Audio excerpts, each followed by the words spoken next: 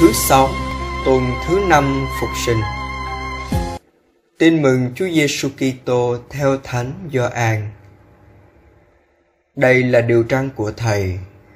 Anh em hãy yêu thương nhau như Thầy đã yêu thương anh em. Không có tình thương nào cao cả hơn tình thương của người đã hy sinh tính mạng vì bạn hữu của mình. Anh em là bạn hữu của Thầy. Nếu anh em thực hiện những điều Thầy truyền dạy, Thầy không còn gọi anh em là tôi tớ nữa, vì tôi tớ không biết việc chủ làm. Nhưng Thầy gọi anh em là bạn hữu, vì tất cả những gì Thầy nghe được nơi cha Thầy, Thầy đã cho anh em biết.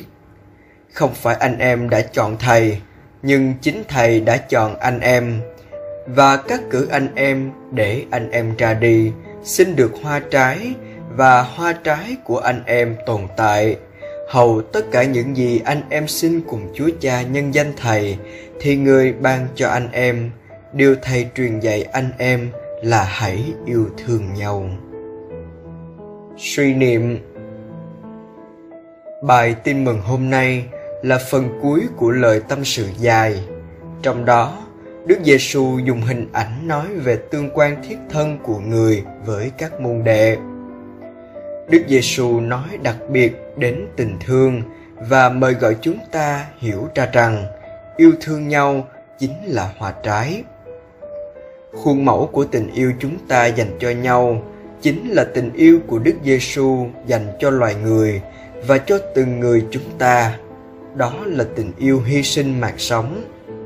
Không có tình thương nào cao cả hơn tình thương của người đã hy sinh tính mạng vì bạn hữu của mình anh em là bạn hữu của thầy đó là tình yêu đến cùng mà chúng ta được mời gọi đón nhận hiểu biết và cảm mến khi chiêm ngắm Đức Giêsu Kitô chịu đóng đinh, đối tượng duy nhất của lòng trí chúng ta.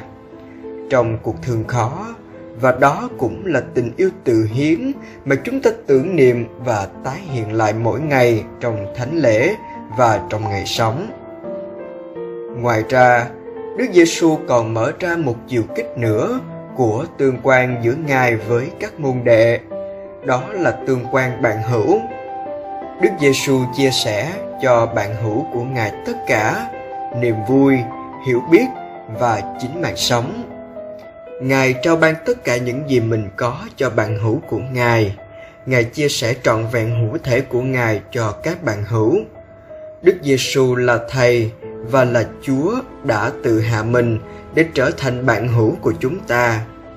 Chính là để chúng ta cùng ước ao từ trong tim làm cho mình trở thành bạn hữu của nhau, trở thành anh chị em của nhau, trở thành người thân của nhau, thay vì làm cho mình trở thành đối thủ hay thù địch của nhau. Vậy, để xin nhiều hoa trái, chúng ta phải trở nên môn đệ của Đức Giêsu để trở nên môn đệ, chúng ta phải ở lại trong ngài. Và để ở lại trong ngài, chúng ta phải đón nhận lời của ngài như nhựa sống như là lương thực nuôi sống chúng ta.